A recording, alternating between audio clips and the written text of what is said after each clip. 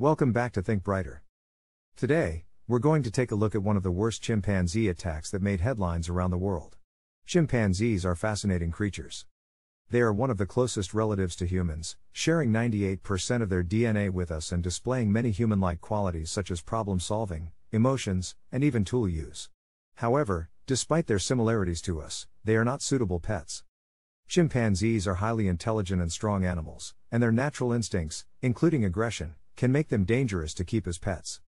They can easily become frustrated, agitated, and turn on their owners, causing serious harm or even death.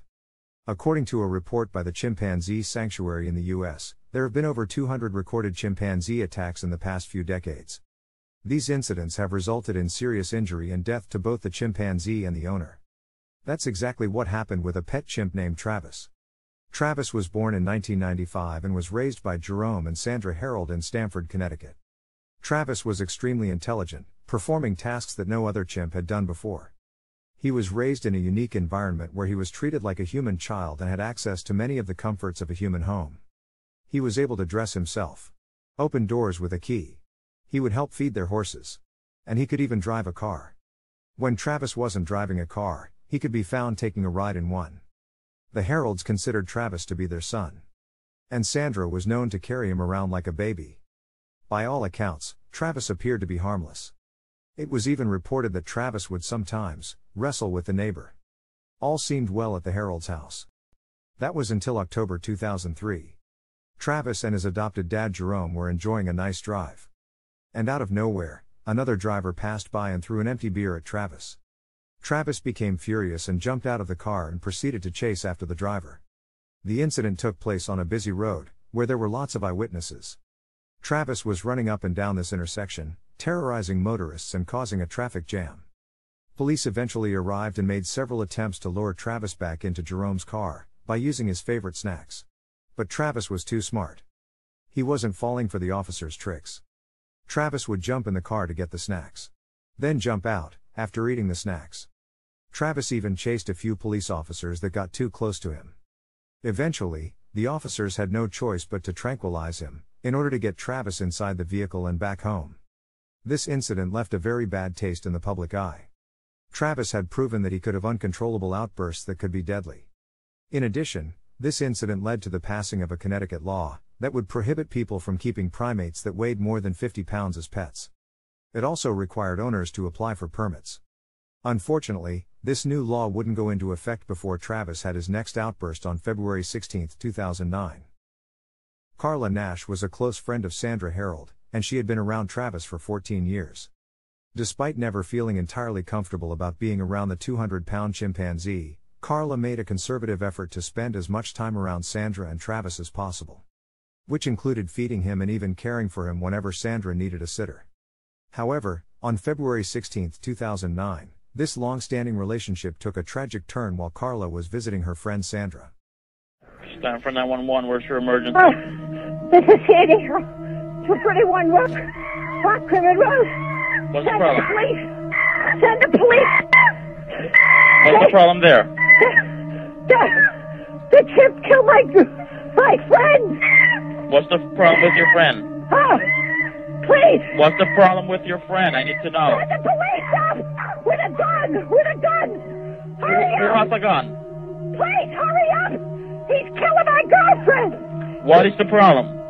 He's killing my friend. Who's killing your friend? Chimp, my chimpanzee. Oh, your chimpanzee is killing your Yes. friend. She, he ripped her apart. Hurry up. With a gun. Hurry up, please. There's someone on the way. With guns, please. You shoot him. What is the monkey doing? Tell me what the monkey's... He, he ripped her face off. He ripped her face off? He tried to, he's trying to attack me. Please, please, Okay, hurry. I need you to calm down a little bit. They're on the way. While the exact trigger of the attack by Travis on Carla Nash is not entirely clear, it's believed that it was related to a disagreement over a set of car keys. According to reports, Travis had taken Sandra's car keys and she was having a hard time getting Travis under control, so she called her best friend Carla to come over to help retrieve the keys. When Carla arrived, she approached Travis, while holding his favorite Tickle Me Elmo toy. Travis suddenly became aggressive and attacked her, leaving her with severe injuries. The attack was so brutal that first responders were initially unable to determine the species of the attacker. Carla was rushed to the hospital, where she underwent multiple surgeries to try to repair the damage caused by the attack. Carla lost her hands, nose, lips, and eyes in the attack, and underwent a face transplant as part of her recovery process. The incident was widely covered in the media and sparked a conversation about the dangers of owning wild animals as pets. The incident also raised questions about the ethical implications of keeping wild animals as pets. Chimpanzees are highly intelligent and social animals that belong in the wild, not in captivity. While they may seem cute and cuddly, they have the potential to be extremely dangerous, as demonstrated by the attack on Carla Nash. In the case of Carla Nash, the attack could have been prevented if the owner had not kept Travis as a pet. Travis had shown signs of aggression before, including biting someone, and should have never been kept in a domestic setting. The tragedy of Carla Nash's attack highlights the importance of responsible pet ownership and the need for regulations on the ownership of wild animals. While Carla's story is a cautionary tale about the dangers of owning wild animals, it's also a story of resilience and determination. Despite her injuries, Carla has continued to recover and is now an advocate for animal rights. In an interview, Carla shared that she wanted to use her experience to raise awareness about the dangers of owning wild animals and to promote animal welfare. Carla's story also highlights the importance of medical advancements in the field of facial transplants. The face transplant that Carla underwent was only the third such procedure in the United States at the time, and it marked a significant milestone in the development of facial transplantation as a viable treatment option for severe facial disfigurements. So that's the story of one of the worst chimpanzee attacks in recent history. Would you visit your friend if they owned a pet chimpanzee?